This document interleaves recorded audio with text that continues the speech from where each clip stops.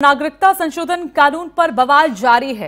केरल विधानसभा CA के खिलाफ प्रस्ताव पास कर चुकी है। कई गैर बीजेपी प्रशासित सूबे भी इसके खिलाफ कमर कस चुके हैं।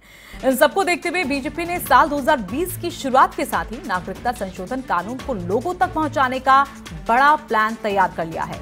आज शाम छह बजे बीजेपी के कार्यकारी अध्यक्ष जेपी नड्डा, वडोदरा के स्वामी नारायण मंदिर ग्राउंड में जन जागरण अभियान के कार्यक्रम में हिस्सा लेंगे।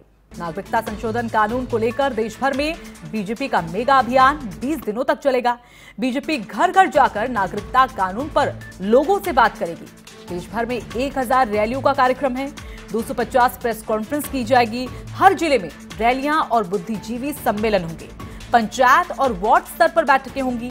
बीजेपी के नेता लोगों के बीच जाकर कानून पर बात करेंगे और उनके सवालों और संशयों का जवाब देंगे।